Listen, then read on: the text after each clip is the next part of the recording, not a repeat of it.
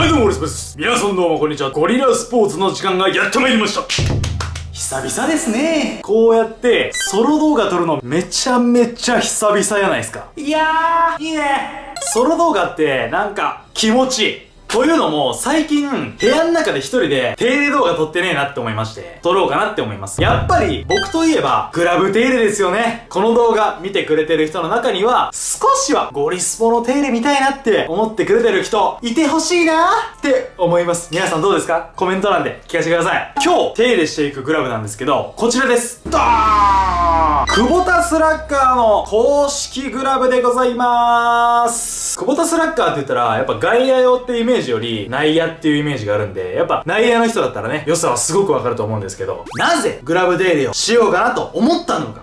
大人の皆さん、ちゃんと子供にグラブ手入れを教えてやってください。今僕、埼玉モンタナスポーツで働いてるんですけど、よく来てくれる小学生、中学生、学生さんに、グラブがすごいね、なんか汚れの上に油塗ってるような感じの子が多いんですよ。で、これどうしたの？って聞いたら、いやー、監督コーチに怒られるから、とりあえずオイル塗ってます。とりあえず手入れしてます。っていう人が多いんすよ。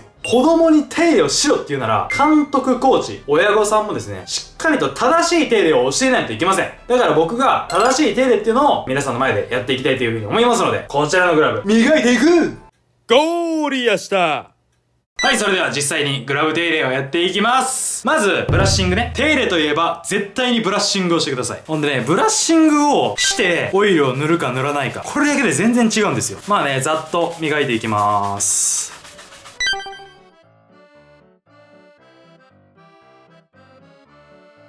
内側もブラッシングしていきます。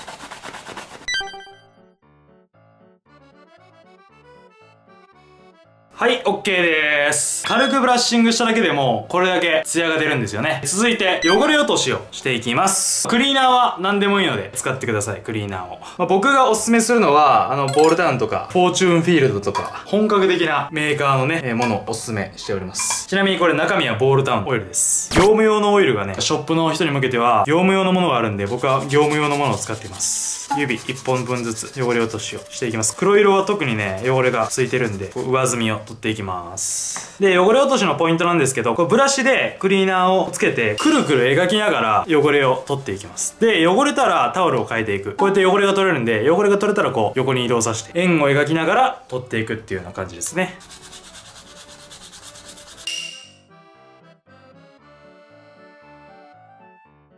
こうやって見たら、テカってるとこってこの油がついてるから、テカりやすいんですけど、こうやってね、テカらなくなりました。音もスベスベしてるんですよ。これ油分が取れてる証拠なんで、こんな風に、まず、サラサラした状態に変えていきます。はい、それでは各指やっていきます。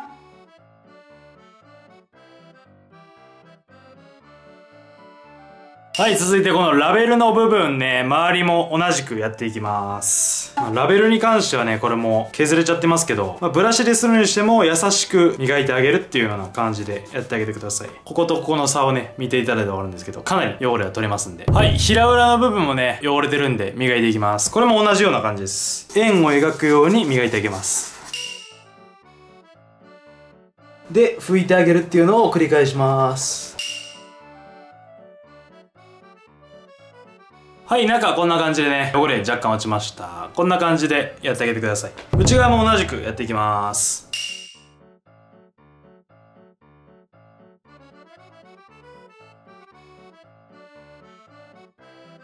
はい、こんな感じで汚れ落としが終わりました。もうだいぶね、今パサついてるのがわかると思います。もうパッサパサ。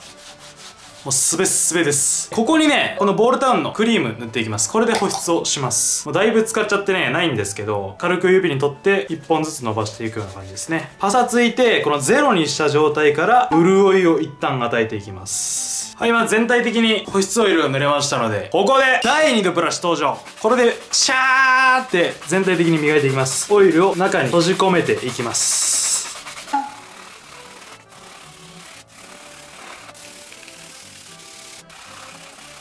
はい、内側にも塗っておきます。これで保湿ができます。めちゃくちゃいい感じ。続いて、最後の工程ですね。このアウトサイドワックスっていうので、外側のワックス加工をやっていきます。これももうないっす。指で溶かしてから上にのせていきます。まあ指に溶かしつつ、乗っけていくっていうような感じですね。これを全体的にやったら、まあ、ある程度、さっきまでの潤いを閉じ込めることができます。まあ、ざーっとね、最初こう上に乗せていくような感じで大丈夫です。後でブラシで平らにするんで。はい、全体的にワックス加工ができましたんで、続いてブラシで仕上げていきます。さっきのオイルなじませ用のブラシで上をこすっていきます。まあ、カーにもね、こう、いろんな繊維があるんで、まあ、いろんな方向に向かって磨いてあげてください。横だったり、斜めだったり、縦だったり、いろんな方向に磨き上げていきます。皆さんこれ今、熱中症になるんで、本当に。こういうちっちゃい作業でも。涼しい部屋、および外風吹いてるとこでやってください。ゴリスポの動画見させてたら、熱中症になって運ばれましたなんて言われたら、本当とんでもないことになりますからね。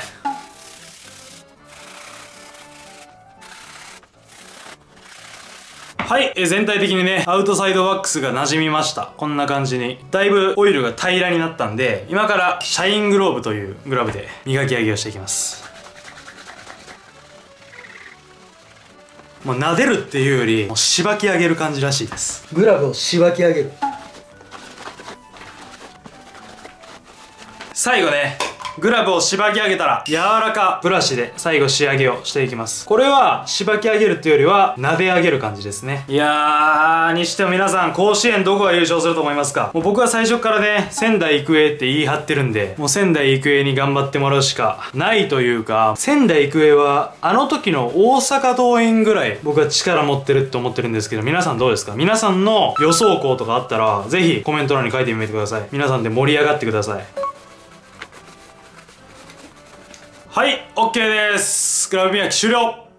ゴーリアしたはい、ということでグラブ磨き終わりました今の時期、クーラーつけてても暑いぞ、これ。ほんまに皆さん気をつけてください。えらいことになりますわ、これ。完成したグラブがこちらです。バーこの輝き、このツヤ、こんなことになるんですよ。グラブっていうのは、おさらいしましょう。グラブ磨きは、ブラッシング、汚れ落とし、保湿。で、好きな人は、ワックス加工。っていう風に、まずね、汚れたものを落とすってとこから始めましょう。絶対ブラッシングとかして、余分な砂、泥を落とすってことはまず第一。で、好きな人はそこにオイルを塗って保湿をするっていうような流れですね。間違っても、汚れの上にオイルを塗るっていうのはやめてください。グラブが壊れる原因になります。まあ、監督、コーチ、親御さん、子供に手入れをするっていうのはいいんですけど、正しい情報を教えてあげてください。まずは、誰もができるブラッシングから始めましょう。ってな感じでね、今日はこちら、まあ、久々にね、家の中で手入れしたんですけど、久保田スラッガーの元社会人選手のね、グラブ、磨く動画でした。今見てる学生の皆さんも、夏休み期間だとは思いますので、汚れたグラブ、ブラッシングだけでもいいので、汚れ落とし、やってみましょう。それでは、今日のご質問は以上になります。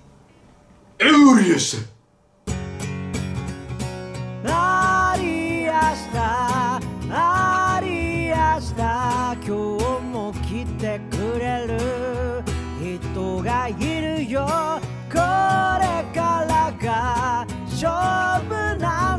で戦う意志はあれ。道は続いてこ